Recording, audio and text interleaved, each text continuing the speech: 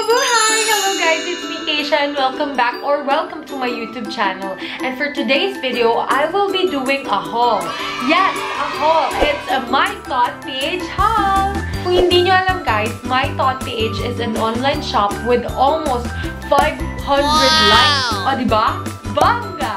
They offer customized shirts, pouches, bags, mga drawstring man yan or tote bag guys. Madaming madaming pang iba. Kaya sa magkakabarkada dyan, magjowa, or sa mga may negosyo gusto magpagawa ng customized shirts, pwedeng pwede guys because they accept bulk orders or pang personal lang.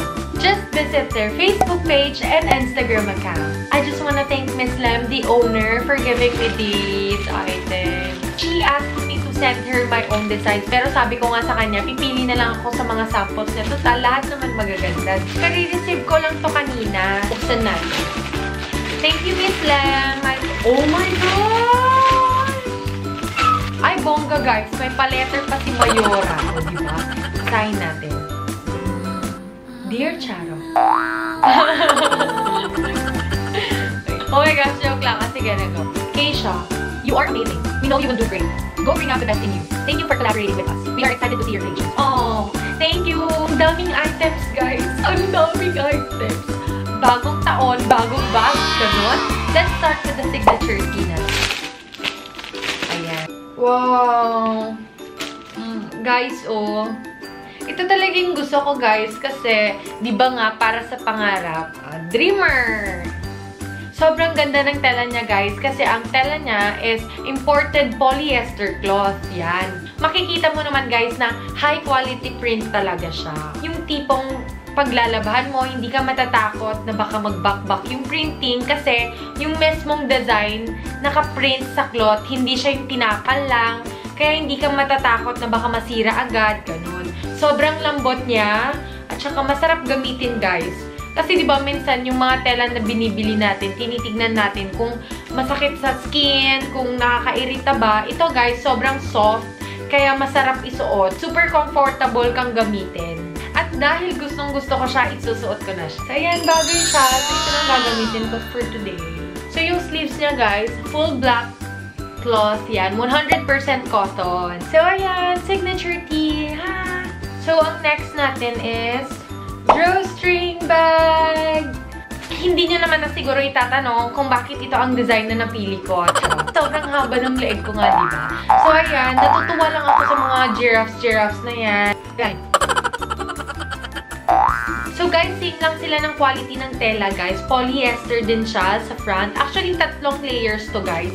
Yung special cloth for printing, ito, tsaka yung black lining, may lining siya sa loob, at tsaka yung durable black cloth na nasa labas. Yan. At ito. So, ayan. Hindi siya, hindi siya mabilis masira kasi madami siyang supporters. So, ang size niya, guys, is 13 by 16 inches. And ang cord length niya is 30 inches. Ayan. Drawstring! So, guys, let's proceed to the next item. So, ito, guys, ang pouch. Ayan, super cute. It's the MAC lipsticks. Ayan, madami rin akong lipsticks bigay ng nanay ko. Dito ko na sila ilalagay, guys. Yung mga mahilig magdala ng mga daily makeups nila, guys, pwedeng-pwede nyo lang ilagay siya dito kasi kasyang-kasya siya. Anything, guys, kayo na bahala kasi malaki naman siya. Ang size nito is 5 by 6.5 inches. At saka yung zipper ang nagsiserve na lock niya, guys. Three-layered cloth yung ginamit, guys. This one is the special cloth. Meron din siyang lining sa loob, which is the white one. At meron din yung nagsusupport mismo sa loob, which is the cotton cloth. Kahit labhan mo to guys, hindi siya masisira. Naka-print na siya sa mismong tela. So, maganda yung quality.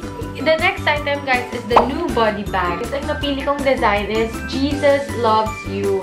Ayan, para saan ako magpunta, I feel safe yung mga gantong design. Jesus is always with me. Parang gan. Kaya ito, itong printing niya din, guys, itong quality niya, polyester din siya, guys. Katulad na lang ng signature tee and yung drawstring siya. Pare-pareho silang polyester, guys. Kasi ang polyester talaga, magandang quality ng tela yan. So, guys, dito, sa back niya, ang ginamit na tela is same lang sa ginamit sa mga long chump bags. So, it's 7.5 by 10 inches. Zipper as the lock. May lining siya sa loob. 24 inches yung strap. Kung mahilig kayong pumunta sa mga ano, mall, pwedeng-pwede nyo siyang gamitin, guys. Sa kahit saan kayo magpunta, pwedeng-pwedeng gamitin tong mga bags na to, guys. Walang pinipiling lugar tong mga to. Basta piliin nyo yung mga designs na kukunin. So, ayan, mag-proceed naman tayo sa item na kung saan sila nagmula, which is the tote bag. So, ang napili kong design, ayan, super cute lang, pang summer siya. Diba, pag bet mo mag-beach, polyester din siya, guys. Three layers din yung ginamit na tela. Pag bubuksan mo, may white lining siya, and dun sa loob, meron yung cotton cloth. And yung lock niya, guys, is velcro tape. So, ang size niya, guys, is 14 by 15 inches. Ang next naman, guys, is this mini sling bag. Ito yung design na napili ko. Nakaka-basic lang. Pure black, pure white. Yung open mo siya, ang lock na is magnetic snap. Meron kayong makikitang lining dito, black cloth. May pocket siya dito na naka-zipper din siya. And may two compartments siya, guys. Ayan. Yung tela na ginamit is same as yung tela na ginagamit nila sa long chunk. Sobrang ganda ng quality. Ayan. Ramdamin mo. Sobrang nakadikit talaga siya sa tela. Alam na alam mong maganda yung quality kasi pinong-pino yung pagka, pagkakat, pagkadikit. Ang Michael, guys, hindi na uubusan ng mga ideas yan para mag mag-upgrade ng mag-upgrade para ma-meet nila yung mga expectations natin, guys. Kaya naman, gumawa sila ng colored tab. So, ang size niya, guys, is 5.5 by 7 inches. Ayan, zipper as lock. And meron din siyang black lining sa loob. At saka ang napili kong design is this one. Sobrang ganda kaya as nakakagawa sila my tote na gantong design which is pinapasok nila yung about right. Meron silang maroon, meron silang brown. Tada! Meron din silang colored tote bag. So, ayan. Ang napili kong design is this one. I can do all things through Christ who strengthens me. And favorite verse ko siya, guys. Kaya naman nung nakita ko siya sa samples ni Miss Lem, yun, yun talaga agad yung pinili ko. Meron siyang lining sa loob, at yung zipper nagsiserve as lock. And the size of this tote bag is 14 by 15 inches. And last but not the least, the new foldable tote bag. Square siya kung makikita mo, pero kapag i-open mo siya, tada! Ayan, it's a tote bag! So, ang cloth na ginamit is durable polyester nylon, which is 100 times better than the usual canvas cloth. Water resistant siya. The zipper serves as lock.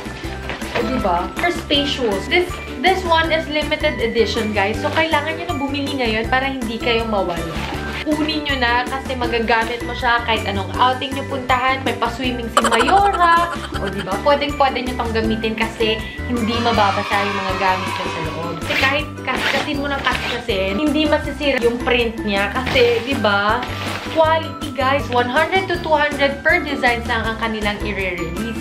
Kaya, hmm, wag nang magpatumpik-tumpik pa, bumili ka na. So, that's it guys. Talaga naman nakita natin yung quality talaga ng MyToad PH. Maririch at maririch talaga nila ang ating mga expectations. Kaya naman, madami na silang loyal customers. Kung nagustuhan niyo yung mga designs na napili ko or meron kayong sariling designs, mabilis lang silang katransact guys. Just follow them on Facebook or Instagram. Kung may gala ka with friends, travel with jowa, family outing, or gusto mong maiba yung souvenir ng mga events mo, o ba? Meron at meron ng MyToad PH. Quality, affordable, and easy transaction.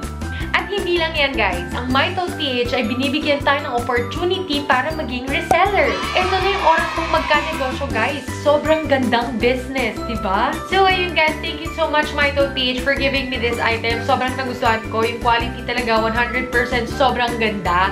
And must have talaga tong mga to. So that's it guys. Sana natuwa kayo, nag-enjoy kayo, at nagustuhan nyo yung mga items na natanggap ko. Don't forget to subscribe to my channel for more buhay na buhay videos. Thanks for watching!